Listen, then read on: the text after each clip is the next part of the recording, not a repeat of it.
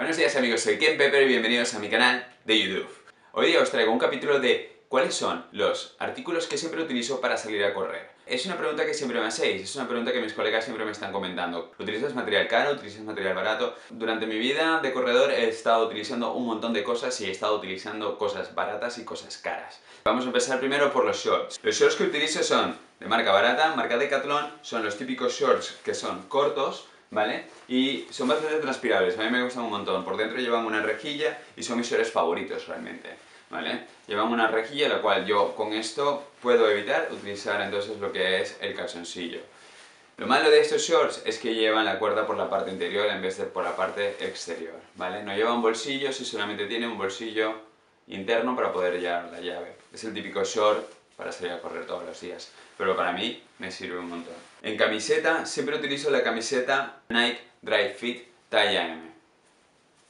Empezaron a colocar este mesh en la parte de atrás, este tipo de, textil que hace que evaporice bastante rápido lo que es el sudor. Y la verdad que después de esta creo que he conseguido muy pocas que realmente funcionen tan bien como funciona ella. En cuestión de calcetines, Utilizo los calcetines Boomerang, de la marca Corte Inglés. Son los calcetines más baratos que puedes conseguir en la marca Corte Inglés, ¿vale? La verdad que son bastante baratos, creo que llegan a costar unos 3,50 euros, pero la verdad que dan un confort bastante bueno y de paso están bastante bien acolchados en la parte en la parte de adelante, ¿vale? Con ellos llevo corriendo, eh, puedo decir, con unos buenos, buenos kilómetros, por lo menos unos 2 o 3 años, y todavía están en muy, muy buen estado. Solamente se ha decolorado, pero la verdad que están en muy, muy buen estado. Y permite que el sudor se evapore bastante, bastante rápido. Uno de los equipos que también utilizo para salir a correr es el cinturón Salomon Pulse, ¿vale? Que me lo compré no hace mucho este año, y la verdad que me ha resultado bastante bien. Es la talla M, tiene un bolsillo bastante espacioso por la parte delantera, y por la parte de atrás tiene otro bolsillo bastante espacioso que va hacia los laterales. Va hacia acá y esta es la parte delantera donde tiene el cierre donde puedes llevar el móvil. Por la parte de atrás puedes llevar los palos. Eh, no he recibido muy buen feedback de ellos realmente porque la parte de atrás para llevar los palos como que al final se terminan cayendo, pero con mis palos son bastante ligeros, no son tan pesados como los antiguos eh, y la verdad que se comporta bastante bien.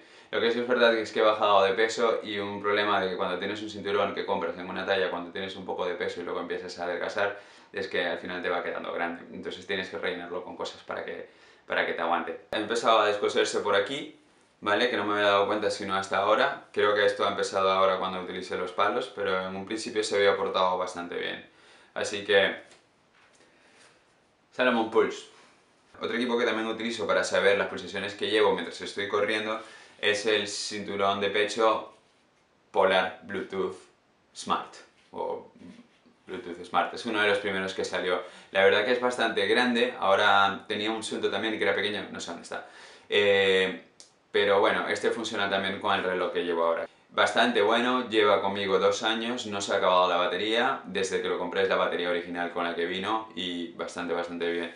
La correa se ha estirado un poco, pero bueno, le puedes ir ajustando con esta, con este villa que tiene en la parte de atrás y lo único que ha hecho es decolorarse, me imagino que por el, por el, por el sudor. Gafas para salir a correr, de esto hay que hablar poco, las Sirocco. Tienen en varios colores, no cuestan mucho, unos 35 euros, dejaré el link abajo para que las vean.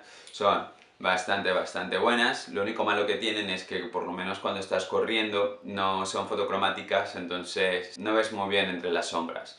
Entonces, para estar corriendo con todos los pequeños desniveles que tienes entre roca y suelo, pues lo mejor es que tengas unas gafas que te permiten verlo, ¿vale? Este es en un principio, cuando hay bastante sol está bastante bien, pero cuando hay un poco de sombra no te permite verlo. Pero las utilizo a diario cada vez que salgo a correr y la verdad es que me funcionan perfectamente. Además de que no pesan nada.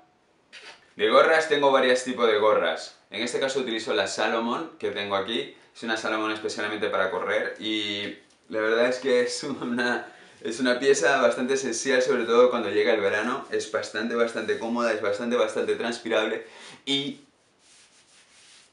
bastante, bastante ergonómica. Una de las cosas que tienes que tener siempre en cuenta cuando te compras una gorra es que sea cómodo y que no pese nada y que te deje transpirar porque si luego estás en verano y está haciendo calor y te está pegando en la pepa de sol y de paso no transpiras, ya te puedes dar por hecho de que vas a pasarlo mal.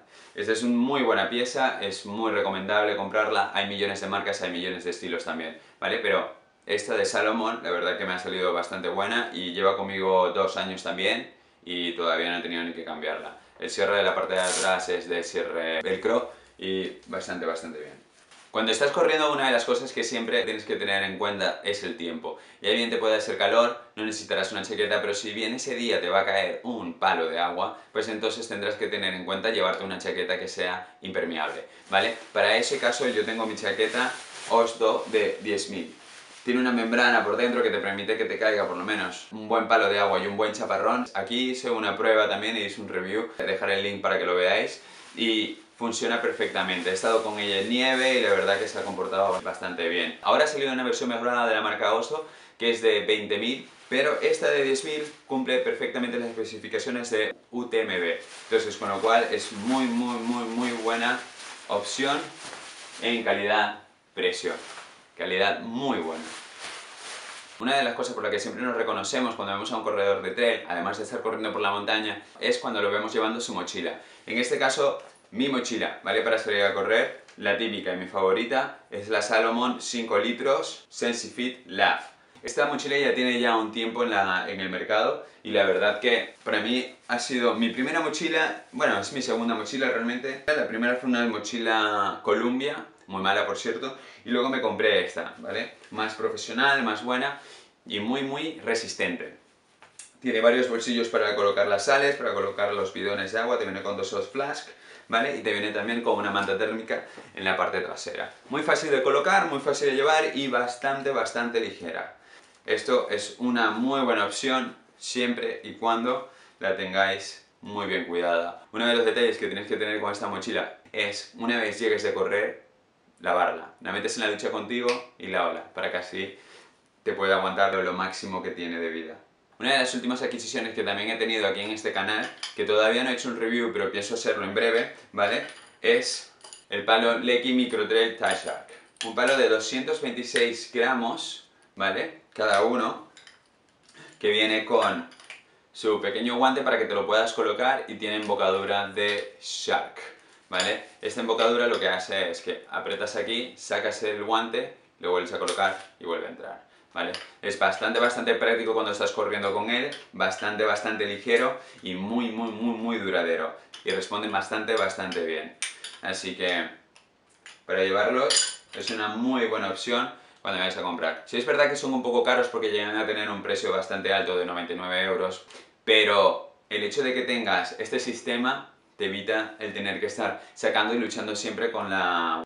Por el precio que tiene, creo que es muy buena compra. En cuestión de zapatillas también he pasado por varias, he tenido unas cuantas, entre esas ahora he tenido la Fuji Trabuku, he tenido la Salomon City Trail, he tenido también la Salomon Speedcross número 4. Ahora estoy con la Sportiva y estoy con ella desde hace más o menos como un año. Llevan conmigo como unos 300 kilómetros y la verdad que responden bastante bien. Son duras, duras, duras de cojones. Muy buenas, han salido bastante resistentes, bastante respondedoras y con una duración de tacos bastante buena. Eh, la verdad que tiene una fricción bastante buena, sobre todo cuando entras en cualquier tipo de terreno, ya sea en barro, ya sea en piedra mojada, ya sea en seco, ya sea en arenilla, ya sea en gravilla. O sea, la verdad que han respondido bastante bien. La transpiración es muy, muy, muy buena.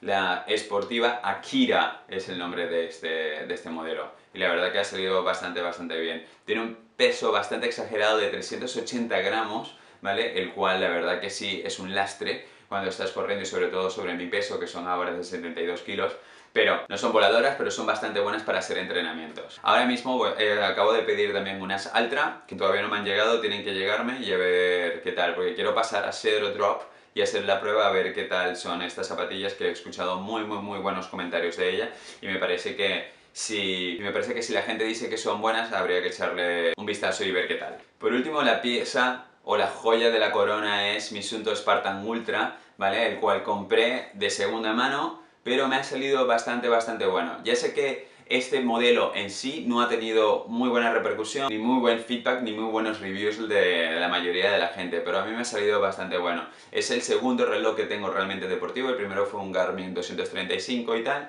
el cual tenía que adaptar cada vez que salía para trail, pero este ya está destinado directamente. Ahora han sufrido varias mejoras, la verdad que al principio era bastante, bastante básico, para ser una pieza tan cara, era bastante, bastante básico, pero ahora ha sufrido bastante mejoras y se está adaptando cada vez más al mercado, ¿vale? Muy buena pieza, tiene lo esencial, salir a correr, tiene cinco pantallas si quieres, también puedes hacer intervalos, puedes ponerlo por distancia, puedes poner targets, puedes poner...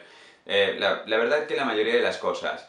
Eh, tiene todos los deportes, creo que tienen unos 80 más o menos que puedas meter, desde yoga hasta windsurfing. Y la verdad que ha salido bastante, bastante bien y una duración de batería bastante, bastante buena. Eh, siempre y cuando lo pongas en los pasos que tienes que poner para que no se gaste la batería, ¿vale? Sunto Spartan Ultra. Bueno, y esto ha sido todo el equipo que utilizo cada vez que salgo a correr, o también dependiendo de la climatología que tenga, utilizo una cosa u otra. Eh, dar las gracias por estar ahí, dar las gracias por seguir siendo suscriptores de mi canal y muchas gracias por mantenernos siempre, siempre, siempre en contacto. Os quiero mucho chicos y recordad, la montaña está allá afuera y no en el sofá. Os quiero mucho. ¡Hasta luego!